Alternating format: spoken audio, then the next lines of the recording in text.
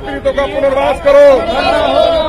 सीमांचल के बाढ़ का निदान करो। सीमांचल के बाढ़ कटाव का करो निदान। सीमांचल सदियों से बाढ़ का कहर झेलता आ रहा है।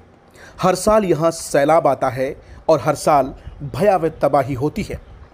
विडंबना देखिए कि सीमांचल के किशनगंज, कटिहार, अररिया और पूर्णिया में सेकुलर पार्टियाँ, मसलन राजद और कांग्रेस लंबे अरसे से सत्ता का सुख भोगती रही, लेकिन सैलाब की तबाही को रोकने के लिए कभी किसी ने मजबूती से सरकार के समक्ष अपनी बात नहीं रखी।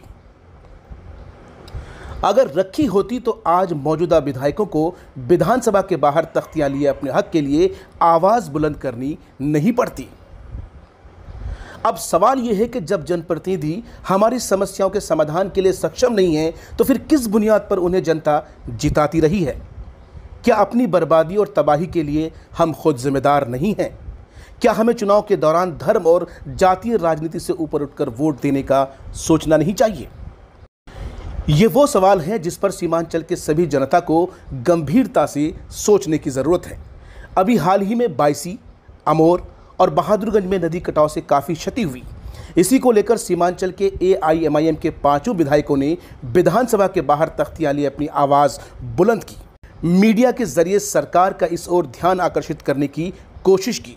हालाँकि, एआईएमआईएम प्रदेश अध्यक्ष व अमोर विधायक अख्तरुल ईमान समेत एआईएमआईएम के कई विधायक ये कहते सुने गए हैं कि बिहार की नीतीश सरकार उनके साथ सौतेला सलूक कर रही है, उन्हें इग्नोर करती रही है। जबकि सरकार इन आरोपों को सिरे से खारिज करती रही। वहाँ हिमालय की गोद से निकलने वाली तमाम तर तेज धारा की नदियाँ उस इलाके में बहती हैं और हर साल हज़ारों घर नदियों में विलीन हो जाते हैं। हज़ारों परिवार वहाँ पर उनका घर उजड़ जाता है, उनके पुनर्वास की कोई व्यवस्था नहीं हो सकी है। करोड़ों की मालियत तबाह हो रही है। हज़ारों हेक्टेयर कृषि भूमि ज़मीन बर्बाद हो रही है। वहाँ पर डोक, मानंदा, कनकई, परवान, दास इत्यादि नदियों से इतना भीषण कटाव है कि पूरे बिहार में कहीं नहीं है।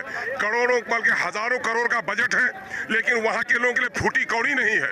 इसलिए हम लोग पूरी मजबूती के साथ लड़ाई लड़ रहे हैं कि अब हमें लगता है कि डूब कर मर जाने से बेहतर है कि सड़कों पर दब कर मर जाए। सिवाय अब सड़कों पर आने के लिए और फांसी के फंदे में लटकने के अलावा उस इलाके का कोई उपाय नहीं है। सबसे गरीबी रेखा में कम, सबसे ज़्यादा पलायन वहाँ पर, ज़मीन रखकर भूखे मर रहे हैं लोग और सरकारी तंत्र कोई बात सुनने के लिए तैयार नहीं है।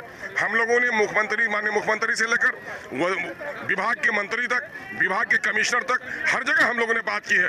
लेकिन हमारे समस्याओं का न्यायपूर्वक निदान नहीं हो रहा है, उसके लिए पूरी लड़ाई हम लोग कर रहे हैं।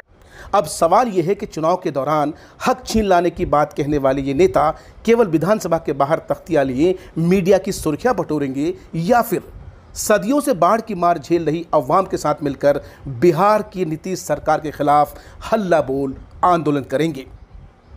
के कटाव का पुनर्वास करो।